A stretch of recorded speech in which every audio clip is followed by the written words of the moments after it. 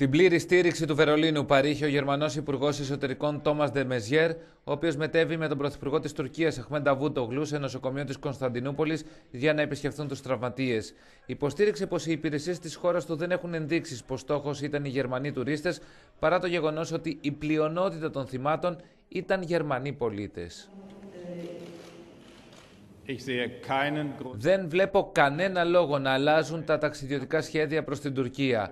Φυσικά υπάρχουν ταξιδιωτικές προειδοποιήσεις οι οποίες συντάσσονται από κοινού από τα Υπουργεία Εξωτερικών και Εσωτερικών και θα πρέπει να μελετώνται ώστε να μην μεταβαίνει κάποιος σε συγκεκριμένες περιοχές κρίσεων.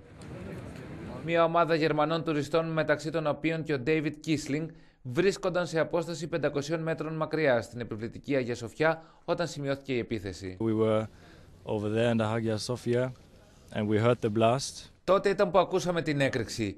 Παραμείναμε εκεί για δύο ώρες, διότι θεωρήσαμε ότι ήταν το πιο ασφαλές σημείο εκείνη την ώρα. Σήμερα αναχωρούμε, αλλά πριν θέλαμε να έρθουμε εδώ για να εκφράσουμε τη λύπη μας στον τουρκικό λαό. Απολαύσαμε το ταξίδι μας εδώ και προσωπικά θα ξαναέρθω στην Κωνσταντινούπολη. The time here in Turkey and me personally, I will definitely come back to Istanbul. I was, uh...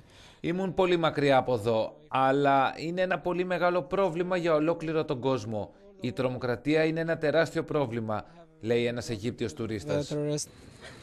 Στον τόπο της επίθεσης, κάτοικοι της Κωνσταντινούπολης αλλά και τουρίστες ένιωσαν την ανάγκη να εκφράσουν με λουλούδια ή άλλα αντικείμενα τη λύπη τους για τα θύματα του τυφλού κτυπήματος.